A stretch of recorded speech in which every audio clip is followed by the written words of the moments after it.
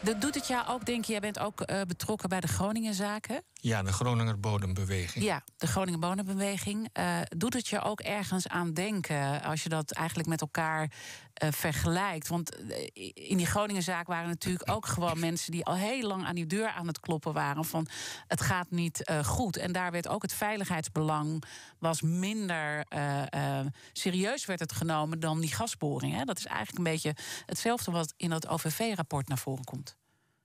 Ja, wat je in al die zaken leest, de, de Groninger Bodembeweging, uh, het OVV-rapport, de toeslagenaffaire om niet te vergeten.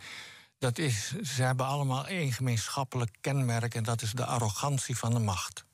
Mm en, uh, en er wordt al zo lang geroepen wat er mis is en er verandert maar niks, er gebeurt niks. Mm -hmm. De overheid schakelt uh, rapport na rapport in en, en, en een oeverloos geouwe hoer en gemekker.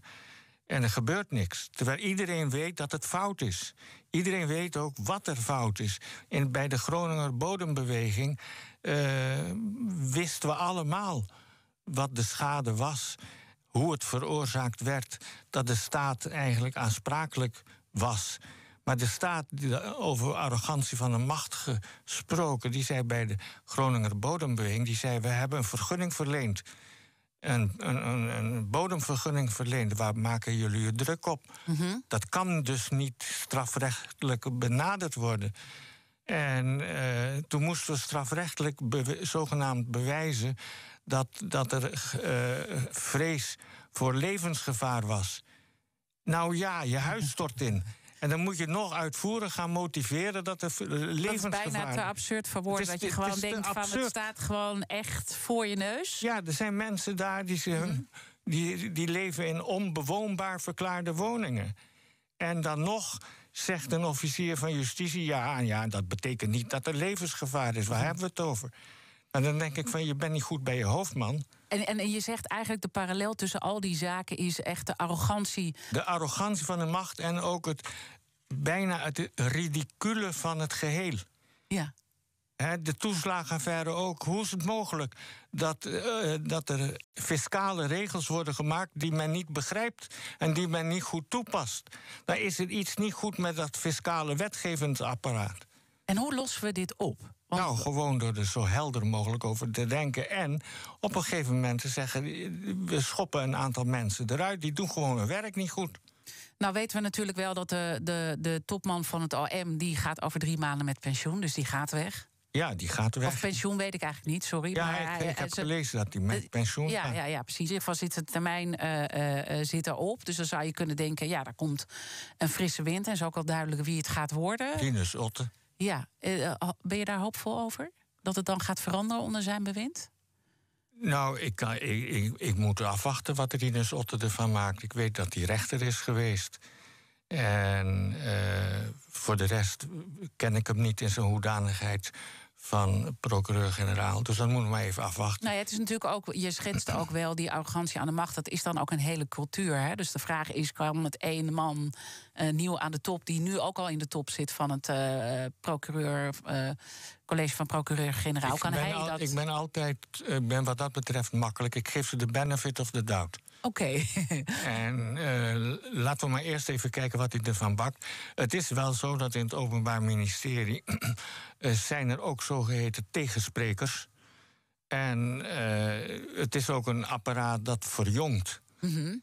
En we, ze, ze, weten nu dat. Kijk, dat OVV-rapport is natuurlijk een snoeihard rapport geweest. En iedereen kan lezen, zowel binnen als buiten dat apparaat, wat er eigenlijk veranderen moet. Ja. En dat moet misschien een beetje indalen, maar dat gaat wel uiteindelijk misschien hopelijk wat uh, uh, veranderen. Raakt het je nog uh, persoonlijk, want we waren natuurlijk net ook met elkaar in gesprek dat je Peter R. de Vries natuurlijk heel goed kent. En dan. nou ja, zie je op papier in het OVV-rapport ook hoe hij eigenlijk gewoon ja, zo tekort is gedaan. En dan druk ik me nog zachtjes uit. Ja. Dat moet hard aankomen ook bij jou. Ja, dat is, het is pijnlijk. Erg pijnlijk. Ja. En de kroongetuigenregeling, moeten we daar dan ook. Uh, hè, want daar, daar, dat is natuurlijk ook. Je, je mist eigenlijk het gevoel van. wat gaan we nou beter doen? En die kroongetuigenregeling zou daar natuurlijk een uitstekend voorbeeld zijn om te laten zien dat je het anders gaat doen. Zie je daar al beweging komen dat je denkt dat stemt me hoopvol? Nee, helaas. Uh, kijk, Ze gaan het uitbreiden, zelfs. Nou ja, zei kijk, John Lucas uh, gisteren dat, ons. Dat heb ik zo horen zeggen, inderdaad. Je weet, ik ben geen voorstander van een kroongetuigenregeling, van een mhm, kroongetuige. Maar dat station is inmiddels gepasseerd. Juridisch is het aanvaard. De rechter heeft het aanvaard. En als het nou eenmaal aanvaard is, dan moet je zorgen. Dan heb je eigenlijk een soort rechtsplicht. dat het op een zo goed mogelijke wijze veilig wordt uitgevoerd. Mhm. Want je kan niet als samenleving de verantwoordelijkheid hebben dat je aan de ene kant met kroongetuigen werkt en voor de, aan de andere kant dat je ze laat stikken. Ja. Om het even kras te zeggen. Dus de, die, die, veiligheid, eigenlijk precies hetzelfde met Groningen. Die veiligheid moet net zo uh, zwaar wegen als het, uh, het opsporingsbelang. Hè? Want dat zijn die twee dingen die moet je naast elkaar brengen. Ja, voor allemaal gaat geld, ook de, ik herhaal ook de toeslagenaffaire.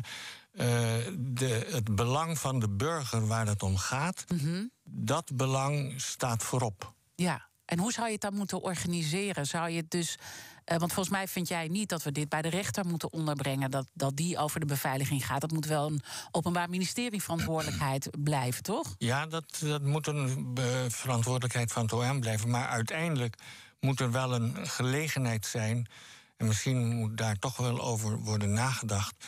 Dat er een soort aparte rechtsgang gecreëerd wordt bij de rechter dat als het uh, fout loopt of als een kroongetuige ontevreden is over het veiligheidsprogramma, dat dat uh, door een rechter getoetst kan worden. Ook Diana Matroos vind je in de BNR-app. Ja, inderdaad. Je kunt live naar mij luisteren tijdens de Big Five.